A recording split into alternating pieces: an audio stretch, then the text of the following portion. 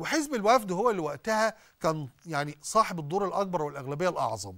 لغاية ما جه جماعة الإخوان سنة 28 ومصر كلها عايشة بقى إيه يعني في في فترة الملك فاروق في 12 وزير مسيحي. رايحين جايين والدنيا وسكرتير عام الوفد طول الوقت مسيحي.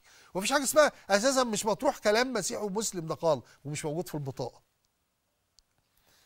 الإخوان بقى جم ومأثرين في المجتمع ومسيطرين على أماكن فيه وعلى وعي ويعمل ضرب طول الوقت في تحالف مع الإنجليز في مواجهه والملك في مواجهة حزب الوفد وحزب الأغلبية وحزب العلمانية المصرية وحزب المواطنة المصرية وحزب المدنية المصرية وحزب الذي ليس فيه فرق بين مسلم ومسيحي. يقوم إيه بقى؟ يقوم تقوم ثورة يوليو اللي كان يعني قادتها جمال عبد الناصر ومجموعة الضباط يوليو. مجموعة ضباط يوليو ليه بقى الدنيا وهتودينا لخانة البطاقة دلوقتي؟ خانة الديانة في البطاقة. لأنه ضباط يوليو كلهم اللي أنتوا شايفينهم ده أنتوا شايفينهم دلوقتي معايا؟ كلهم ما عدا محمد نجيب وما عدا صلاح سالم كلهم كانوا أعضاء في جماعة الاخوان المسلمين. يعني ربما فيما عدا صلاح سالم وجمال سالم. وإن كان صلاح سالم برضه في كلام عن إنه كان روايات على إنه كان عضو فيه. كله اللي أنتوا شايفينهم دلوقتي في الصورة كاملا فيما عدا محمد نجيب اشتركوا في يوم من الأيام في جماعة الإخوان وانضموا لجماعة الإخوان ومارسوا نشاطا مع جماعة الإخوان تحت عناوين بقى وطنية أصل إحنا كنا بندور على تنظيم إيه على نعمل إيه ما, ما علينا بقى المحصلة إن هم كانوا جميعا. أنور سادات على جمال عبد الناصر على عبد الحكيم على حسين الشافعي على كمال الدين حسين على كل ال... حتى يوسف صديق عدى عليها فترة إنه مش موجود في الصورة. خالد محي الدين اللي هو كان ماركسي أو انضم لل... لل... للتنظيم الماركسي كان إخواني الأول. طيب ده ودانا لإيه؟ ودانا إنه. هما أول ما قاموا بقى بالحركة اللي بعد كده بقت ثورة ففي تأثر طبعا آه هم هم استقلوا عن الإخوان انفصلوا عنهم وعملوا التنظيم بتاعهم ورفضوا إنه التنظيم يبقى تحت قيادة جماعة الإخوان بعد فترة. لكن في النهاية أفكارهم كانت متأثرة بجماعة الاخوان المسلمين. و بعضهم فضل افكاره متأثرة لغاية ما مات على فكرة. لغاية يعني لغاية وقت قريب. أيوه أعضاء مجلس ورغم إنهم سجنوا الإخوان بعد كده بس تأثروا بيهم جدا.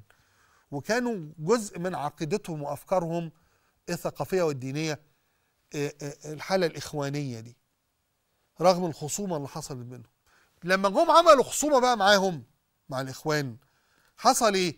هم متأثرين بيهم بس عملوا معاهم خصومة سياسية كبيرة ودخلوهم السجن وكل حاجة. لكن عايزين يثبتوا إنه هم مش معنى إنهم خصموا الإخوان إنهم ضد الدين. فبدأوا يزايدوا في الدين.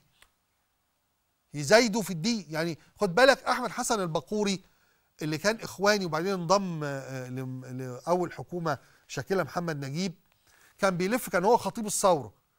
الغريب والعجيب إنه في ثورة 19 كان دايما خطيب الثورة خطيب مسيحي وخطيب مسلم. يطلع الاسيس والشيخ لا في يوليو كان الشيخ بس. عبد الواسع عبد الناصر عمل حاجات كويسة كتيرة جدا في الشأن القبطي.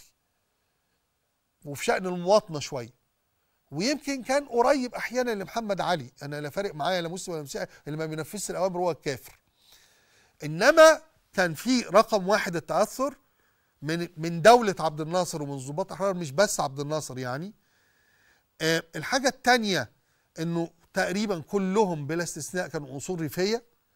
الحاجة الثالثة إنه كان في ابتزاز من من الإسلام السياسي وقتها وجماعات الإخوان شوفوا دول بيحاربوا الدين. والناس قالوا كده. ده بيحاربوا الدين ده مش عارف إيه. ده جمال عبد الناصر أمه يهودية. ده كلام مكتوب ومنشور ومعروف أياميه. فطبعا كان عبد الناصر والإخوان. والظباط عايزين طول الوقت يثبتوا لأ ده إحنا متدينين أكتر منكم. ده إحنا مسلمين أحسن منكم. وما أنتوا بتوع الإسلام إحنا بتوع الإسلام. فيحصل مزايدة على الموضوع ده. على حساب إيه بقى؟ على حساب إن مفيش ولا ضابط قبطي في في مجلس القيادة. ويمكن في ال في ال 82 واحد أو ال 92 واحد في قياده في ضباط الأحرار الأوائل يعني ما كانش فيهم بعد شوية بقى فيه بس يعني في الأول ما فيش آه، تودد للتيارات الإسلامية طبعا. ثم حاجة تانية مهمة جدا وهي التميز عن حزب الوفد. حزب الوفد بقى بتاع الأقباط. حزب الوفد بقى اللي لازم يبقى فيه سكرتير وقبطي. حزب الوفد اللي كان بيرشح أقباط. إحنا بقى ضد حزب الوفد وبنضرب حزب الوفد. وإيه مصطفى النحاس باشا ده. فيقوم رايح الناحية التانية. الناحية التانية دي ودتنا بقى إلى إيه؟ إلى خانة البطاقة الديانة في البطاقة. وودتنا إلى المزايدة في موضوع الدين.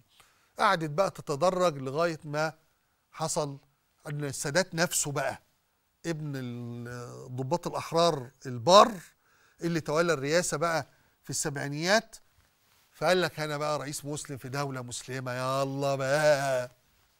وفتح بقى الأبواب للاخوان المسلمين ليسيطروا على مصر وسيطروا عليها تقريبا تماما.